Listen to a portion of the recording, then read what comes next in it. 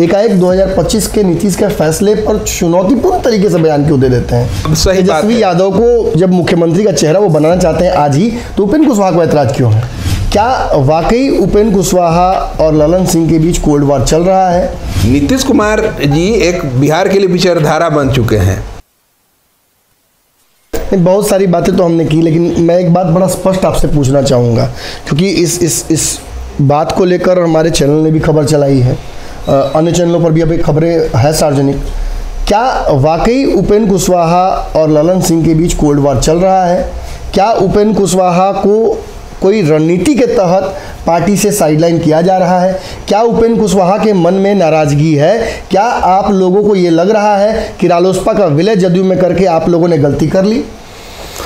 देखिए, नमन जी, आपसे बात स्पष्ट हम कर देना चाहते हैं कि उपेंद्र कुशवाहा जी के मन में ऐसा कोई बात नहीं है। और राष्ट्रीय अध्यक्ष जी से कुछ दिन पहले ही हम लोग मिले थे मैं भी साथ गया था।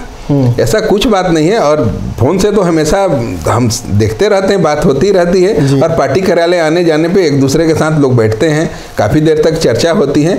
ये सब भरम फैलाया जा रहा है। एक पार्टी है बीजेपी। जो लोग कहते हैं तो उसका काम ही है केवल भरम फैलाना। जी। ऐसा कोल्ड वार की क्या बात है? उपेंद्र कुशवाहा जी अपना काम कर रहे हैं। जब पार्टी रहेगी जी। पार्टी जब जनाधार के साथ आएगी फिर जब जो भी चुनाव होगा तो फिर जिसको जिम्मेवारी मिलना मिलेगी। अभी तो ये सब पार्टी को मज़बूत करना है उस पर काम किया जा रहा है।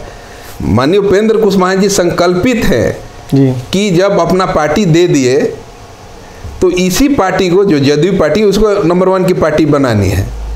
इस पे काम हम लोग कर रहे हैं। हम लोग का कोई व्यक्तिगत अपना स्वार्थ आपके नेता ने, नेता की निष्ठा पर तो कोई शक नहीं किया जा सकता निश्चित तौर पर जिस वक्त बिहार में सभी लोग अपनी कुर्सियाँ गर्म कर रहे हैं वो घूम घूम कर जनता के बीच आपके कार्यकर्ताओं के बीच जो सीधा आक्रोश है क्रोध है उसको वो झेल भी रहे हैं और उसे न्यूट्रलाइज करने की भी कोशिश कर रहे हैं। लेकिन पटना में जो फैसले हो रहे हैं उसमें उपेंद्र कुशवाहा को सम्मिलित नहीं किया जा रहा है। ये ये ये ये, कहाँ से जानकारी आ गई? जब भी मीटिंग होती है राज्य परिषद की मीटिंग हो राष्ट्रीय परिषद का मीटिंग हो मुख्यमंत्री जी के साथ मीटिंग हो विधानमंडल का बैठक हो सब में तो शामिल होते हैं। पार्टी के संसदीय अध्यक्ष हैं। क्या राष्ट्रीय अध्यक्ष के चुनाव में उनसे पूछा गया? क्या उमेश कुशवाहा को वापस था- पुनः स्थापित करने से पहले उनसे राय ली गई थी? देखिए पार्टी में जो भी मीटिंग हुआ सब में नेता हमारे सम्मिलित थे। आप देखे होंगे कि जब उमेश कुशवाहा जी का जब नामांकन हो रहा था तो खुद प्रस्तावक राष्ट्रीय अध्यक्ष जी थे। आप देखे होंगे कि राष्ट्रीय अध्यक्ष जी का, जब चुनाव हो रहा था, उसके प्रस्तावक माननीय मुख्यमंत्री जी ही थे। जी। तो सब है जब सबने मिलकर अधिकृत कर दिया कि माननीय मुख्यमंत्री जी जो भी चाहेंगे जो भी फैसला लेंगे जिसको बनाना चाहेंगे बना सकते हैं तो फिर उसमें बात कहाँ से आ रही है? नीतीश कुमार की हर बात में हामी मिलाने वाले उपेंद्र कुशवाहा एकाएक 2025 के नीतीश के फैसले पर चुनौतीपूर्ण तरीके से बयान क्यों दे देते हैं कि 24 25 से पहले 24 का फैसला होगा? बिल्कुल सही तेजस्वी यादव को जब मुख्यमंत्री का चेहरा वो बनाना चाहते हैं आज ही तो उपेंद्र कुशवाहा को ऐतराज क्यों है? ऐतराज नहीं है। आप देखे होंगे कि बीते दिनों अभी जो कुटनी में जो चुनाव हुआ था उसमें हम लोग हार गए। जी। बहुत ज़्यादा का अंतर नहीं है। इसकी समीक्षा होनी चाहिए।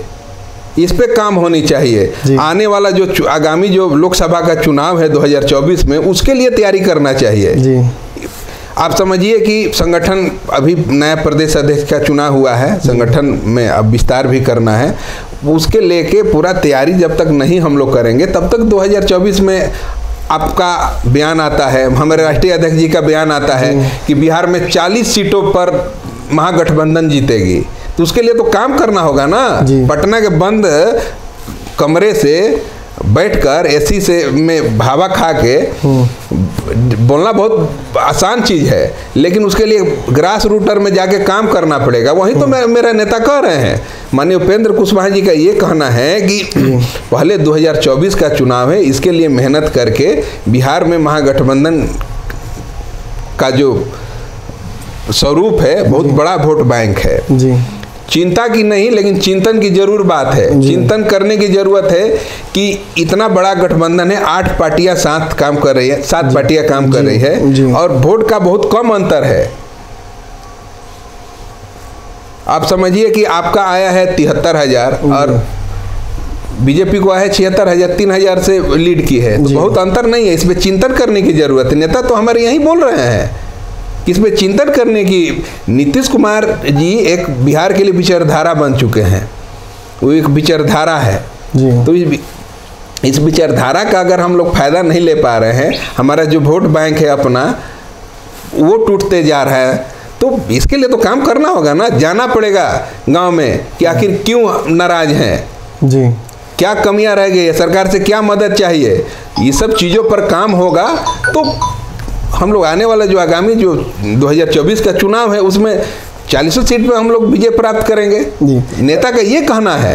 अगर ये वीडियो पसंद आई और वह बिहार के राजनीति और बिहारियत से सरोकार रखेनी तो सब्सक्राइब बटन दबा के चैनल के सब्सक्राइब कर ली। ओजे एगो घंटी बा।